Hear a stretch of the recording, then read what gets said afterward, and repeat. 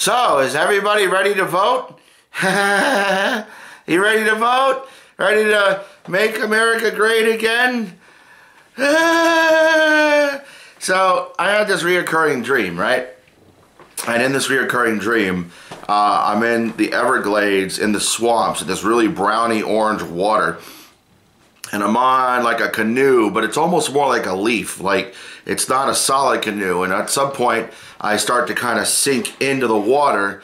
And then there's like this alligator that I, I never see it, but I know it's there. And I kind of have this moment where I just kind of drift into okay. Like I close my eyes and I just see nothing but the clay color, dirty orange water.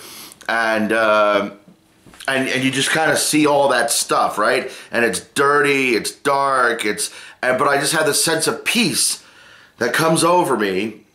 And like I'm just waiting for the alligator to swallow me whole. And I never get bitten. I wake up, but it's almost, and I kind of have that analogy to um, what it may be like to go to die like a peaceful death relatively. And uh, i never get to the the horrible part where i get chewed up by the alligator but i just get like this dirty orange water and you just kind of drift peacefully into I, I it's gonna be okay. It's gonna be okay. It's gonna be okay. That's what i keep telling myself. It's gonna be okay. I don't know who's gonna win tomorrow. Uh, i'm not a big fan of either choice. I'm voting for hillary. I know about you about to leave right now but it's going to be okay. We're to we're all to survive this. We're all we're all to make America great still. America is great. Uh, I know it's not as good as it always was for some people, but America is a great place to be. And I am hopeful that we're going to survive whatever happens tomorrow, no matter how crazy. I don't know if I'm going to sleep tonight or not. I, I sleep at this point is a. Uh, I didn't sleep at all last night. I actually uh, got really sick today and took a nap. So right now I'm actually pretty much awake. So that probably means I'm not going to sleep tonight. Um, but uh, I'm ready to go out and vote tomorrow. And uh, I, I, hope everybody here goes out and votes. I don't care who you're voting for, in the sense that I just want everybody to go out and vote. Everybody. You want you want to really solve the problem. Donald Trump's not the answer. Uh, the way to really solve this problem is to get everybody out to vote, so that we don't have the radical fringe minorities. Uh, and I don't mean minority uh, by color, race, creed. I'm talking about the fringe elements, the nut jobs, the alt right, the far left uh, eco terrorists, right? On both sides. On both sides. All the people that have hijacked both parties. The GOP hijacked by the radical crazy on the right. The DNC hijacked by the radical crazy on the left and all of us in the middle they're just like and i've been calling this series angry in the middle i'm not angry anymore I'm past anger. I'm now at like this numb stage, you know, like when it's getting cold, you know, I don't feel cold anymore. I don't feel anything. Uh, and, and, I'm not on drugs, but it's almost like a, uh, a drug induced state of just like, uh, okay, I'm okay. I'm just kind of floating I'm just kind of going to accept whatever happens. Um, I'm going to vote. But beyond that, there's only so much I have the power to do. Um, I'm, I'm doing these little podcasts. I think I'm doing my part to kind of say, get out and vote. I hope you vote for Hillary, but if you don't, please still vote. Uh, vote your conscience. Ted Cruz is right. Vote your conscience, uh, which means don't vote for Trump. And uh, no matter what Ted Cruz is saying now, uh, you know, uh, the email thing, the controversy is over. So um, the elites are not spirit cookers. They're not devil worshippers. So all you nut jobs on the right, uh, that's not true. Um, all Geo- all Republicans are not racist. So all you nut jobs on the left, it's not true. All these horrible things that people have said about the left or the right or the poor or the elitist or the blacks or the gays or the Jews or the uh, women, all women, you know, just grab their whatever, uh, or the bleeding from there, wherever. 90% of everything you've heard in the last 16 months is not true. 90%. And 90% of most things you hear, even if they're not, tr- they may be true, but they're of no consequence to you. You know the 90 10 rule, right? You got to listen to everything because 90% of everything you hear is bullshit. But if you don't listen to that 90%, the 10% that will save your life will get missed. You're going to miss the 10% that'll save your life if you tune out the other 90. You never you never know what's going to be important. However, the entire time you have to have your own personal filters on. Because if you're watching Fox News all the time, there's a lot of bullshit and a lot of lies and a lot of slant. Same thing on MSNBC, same thing on CNN, same thing on, uh, you know, if it's Alex Jones, it's probably 99% bullshit, maybe 1% of it's actually truth. Rush Limbaugh, maybe 95% bullshit. Um, but, you know, the best news organization is right 10% of the time. The, the crappy ones, maybe one or two. Your friends that think they know, that you trust that they think they know, maybe 10% of the time. Maybe. Maybe 10% of the time. You know why? Because there's so much bullshit. There's so much regurgitated bullshit. They hear, you know, an idiot like Alex Jones, or even worse, they just forward that email that comes to their box. They don't even know who it came from. Oh, look this. This this claims that Clinton did this, this, and this. I better forward that to everybody I know. You ever get one of those emails? I get them all the time from friends and family. And I'm like, uh, yeah. I get just as many emails from Hillary's pundits. I'm like, uh, yeah. Um, on the well, the worst side, Hillary is just like the worst spammer ever. And uh, you know, once you get into MoveOn.org, you give them a couple bucks, and all of a sudden, I got text from them. You got texts? Yeah. Yeah. All of a sudden, you get text and emails like every like few minutes. I'm like, dude, you're not getting another penny.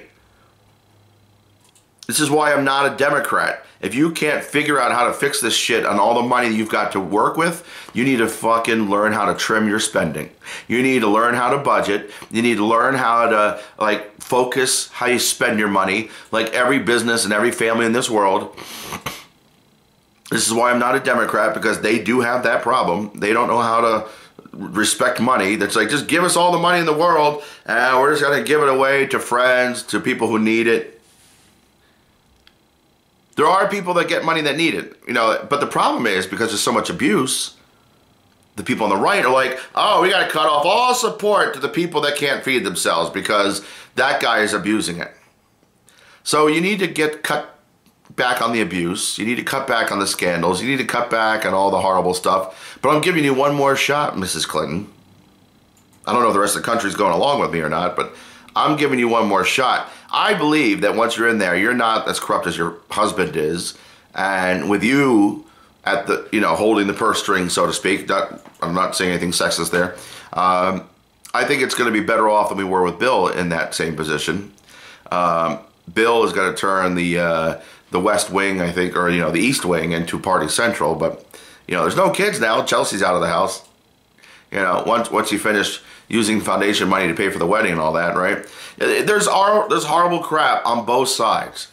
There's horrible crap on both sides. So we're gonna fix this problem. We're gonna make America great still. We're gonna vote for Hillary tomorrow, and the second vote for Hillary is in, we're gonna say we're not. It's not a blank check. It's not a blank check.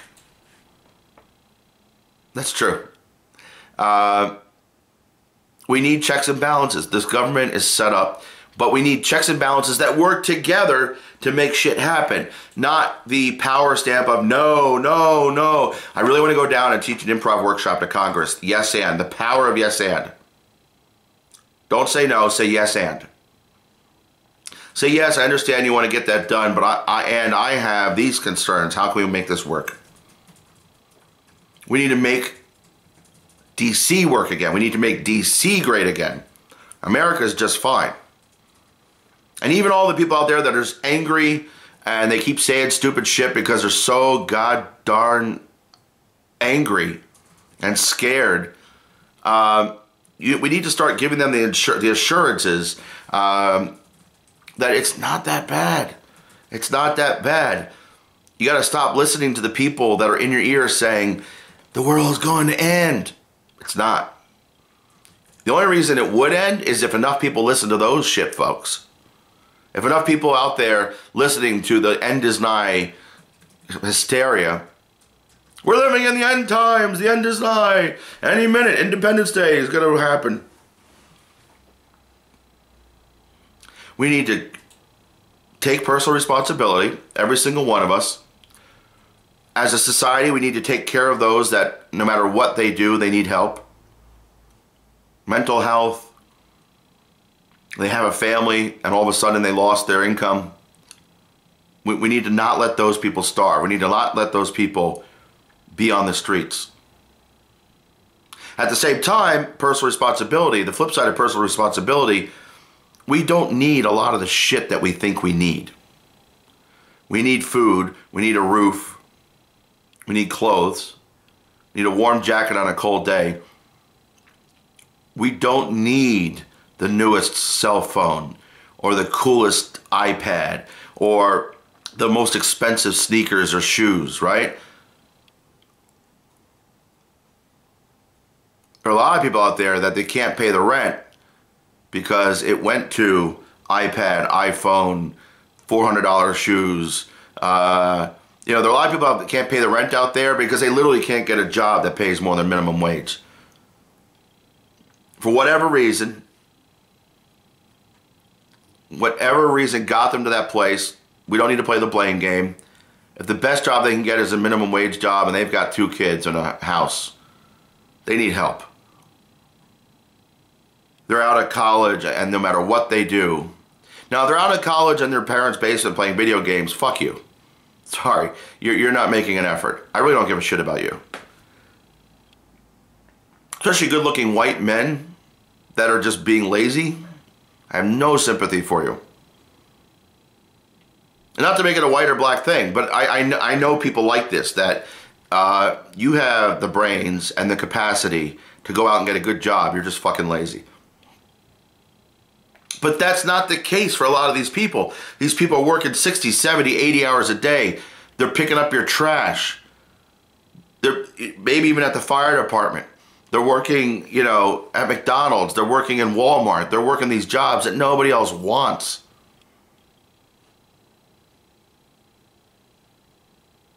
And in some cases, they're lucky enough to have a strong enough union that they have benefits and they have a decent amount of pay, you know, enough to get by.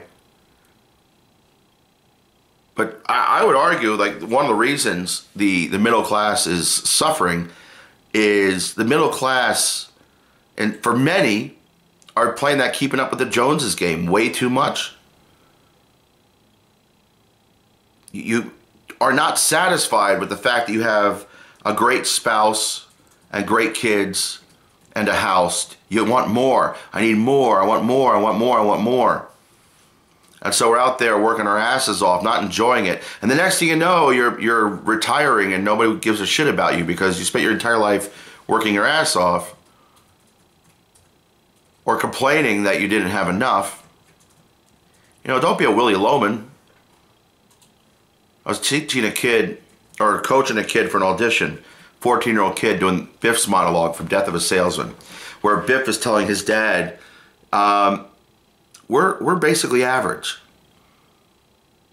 But because you weren't happy with average, you never gave mom, you had, you had a mistress, right? You had a, a second girl on the side in Boston because you, you weren't content like you had a wife that's here, def- here defending every stupid shit thing you do.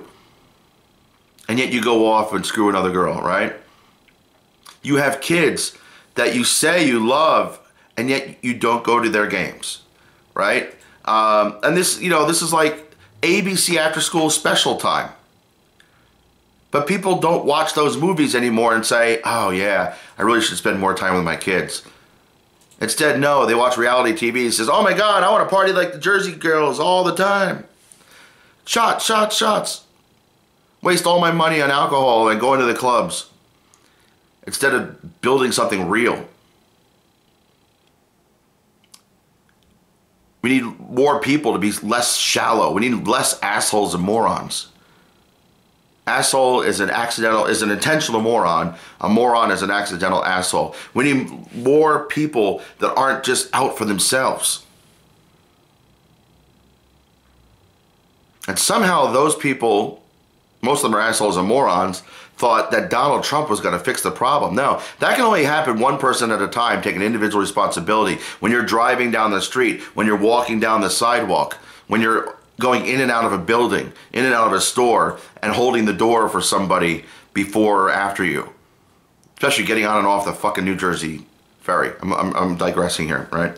Um, I do say when I get off the Jersey ferry and I hold the door for somebody coming inside, they are pleasantly surprised that I did that. People are now more pleasantly surprised when I act just what I would consider basic niceness, niceness, right? Just doing the basic nice thing, holding the door. Not chivalrous, not because it's a woman or whatever, right? No, whoever's behind you, you hold the door. Somebody sneezes, you say bless you, right? When you're about to run into somebody or you bump into somebody by accident, you say, oh, I'm sorry, excuse me. And when they do say, excuse me, sorry, you don't say, oh, People bump into people. People make mistakes. Two things. We need to stop fearing mistakes and start being so scared shitless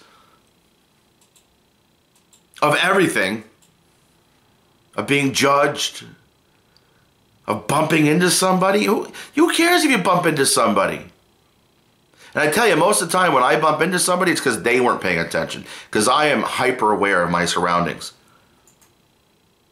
as an actor, martial arts training, blah, blah, blah, blah. And I see it, I'm hyper aware of what's going on out there. And that's why I get angry in the middle, right? I, I don't know how to have, I don't know how to be ignorant anymore. I'm too aware. Uh, my acting training, I'm trained, I teach kids to do the same. You go out there and observe the world. Open your eyes, take off the blinders, watch where you're going. And if you bump into somebody, who cares? but still say, oh, oops, I'm sorry, with a smile. You know what? How much better your life is but by doing those simple things? But you know how much more enjoyable life is? Even when everybody else is being shitty. By simply saying, you know what, I'm going to be somebody who does that. It's not about making everybody else's day better. I feel better about myself when I'm the one who says, Oh, excuse me. Oh, let me open. Let me get that for you. Let me help you out. And maybe that's kind of like its own selfish reward, right? Um, but there are a lot other way, lot worse ways to be selfish and proud than to be generous and helpful to others. And it doesn't always pay off. I don't do it looking for reward. But you know what happens over time? People start to see you as somebody who is generous, I've had a few times in the last 14 years where I've had run-ins with some scary dudes and gals in some case. Uh, even an outright grifter. Somebody went out there because I didn't let them get away with bullshit, and they were actually th thieves. Uh, this guy was a, a, th a thief. He was stealing from people left and right.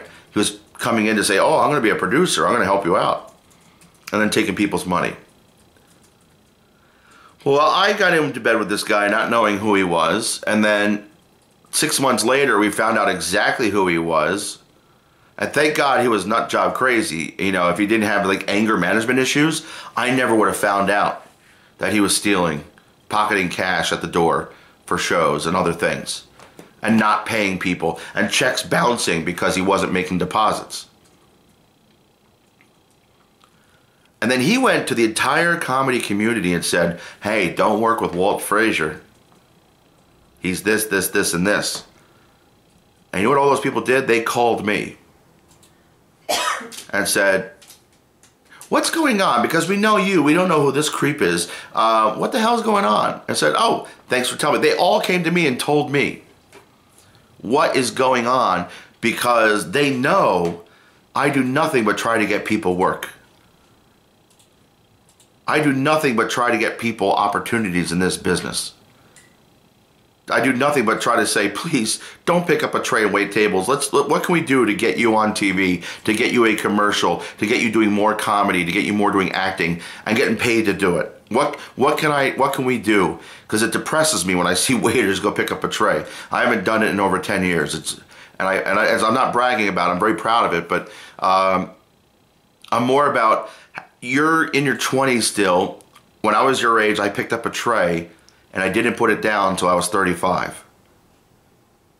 you're at an age where if you live a little more simply, a little more humbly, you can get by on a lot less and do what I did at 35, at 25. It's a lot more fun to be a bohemian at 25 than at 35, right?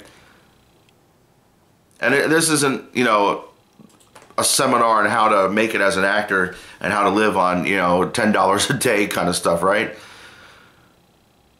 But I think if we all changed our priorities, if we all changed our priorities, at the same time, we can't just let things happen the way they've been happening. The gap, you know, we still need to protest the so called 1% we still need regulation on Wall Street. We still need regulation on the assholes from Wall, from Wells Fargo. The Wells Fargo execs need to go to jail. When people abuse power and put 5,000 people out of work while pocketing $200 million and stealing all that money, these fucking commercials for Wells Fargo. Oh, we're doing our best to pay you back. Sorry. Everybody needs to take all your money out of Wells Fargo. If everybody that has their money in Wells Fargo took it out and put it in another bank, they would go out of business. Individually, you have no power. But if everybody does it, that's a lot of power. If you all did it, those people are done. The problem is if we do it once at a time, they see the trend, then they sell off their stocks and they sell it. You know, they get million dollar houses they could sell out. They have investments. They got it offshore. They got they already got two hundred million dollars in the last year just from stocks going up two hundred percent, right? Because they were able to get the stock price up because they had all these false numbers. We need to regulate Wall Street. We need to regulate things just enough. We don't need to overregulate. We don't need to regulate to the point where we have to drive prices up because we're overregulating. You know, I think that's part of the problem with the Democratic Party. They want to overregulate. They want to overcompensate for assholes and morons. There are morons out there, so we need to like like childproof the entire world for 40-year-old children. We need to childproof the world against the assholes. We need to childproof the world for the morons. No, you know, there, there always will be assholes and morons. On the flip side of thing, on the alt-right side of things, uh, there are assholes and morons of every race and creed. So we need to stop saying we need to curtail things because one guy did something to you or you heard one guy said you know most of it it's all based on fear. It's not even based on i mean I, i'm just so sick and tired of hearing bullshit on both sides. But again the bullshit on the left as much as we can't afford to do the things they want to do we can't afford the over regulations we can't afford to put everybody in college for free wouldn't it be easier just to make schools better at the k-12 level and actually teach them something not just give them liberal arts education. Like we could teach them skills. I've got 13 and 14 year old kids that I'm working with on a one on one basis and teaching them skills as an actor, and they're getting work. I have one student that's getting more work than I am right now. It's uh, I'm very proud, but uh, but there are great kids out there and we could reach them. We could do a better job at reaching them. We, I don't know what we have to do because I know I'm able to do it in about an hour a day and give these kids skills to like send them out in the world. I don't know. I don't know what we have to do. I'm not. I'm not an educator. Um, I don't respect a lot of people in education because I think it's too political. You know, I, I think that's why I, have stayed on the re Republican side. I think there's too much bureaucracy. I'm not a right wing nut. I'm voting straight Democrat tomorrow. But we. This is my last pre-election podcast. I'm going to sign off in a couple seconds. So let's finish this with everybody vote and everybody on Twitter go right now say I am going to vote who wants to come with me? Who needs a lift? Who needs who wants to share a bus ride? Who wants to go down to the polling places with me? To vote not to intimidate, to vote, to exercise your right as an American and your responsibility as an American. And for every asshole that sits at home on the couch, fuck you. If you don't go and vote tomorrow, you're 18 and over, fuck you. I don't want to hear you complain ever fucking again. If you vote, you don't get the you don't you don't get what you want. I want to hear you. Uh, you need to get we all we need more of us need to complain, but in this in in the fruitful way. More of us need to come together and say, let's fix the problems. What you know we need less of, we need less, oh, I can't, I don't have this, I don't have that, I don't have this, I don't have that. No, we all need to come together. And that's the only way this is gonna get better. It will get better. Hey guys, have a great night. Go out and vote. We'll see you soon. Angry in the middle.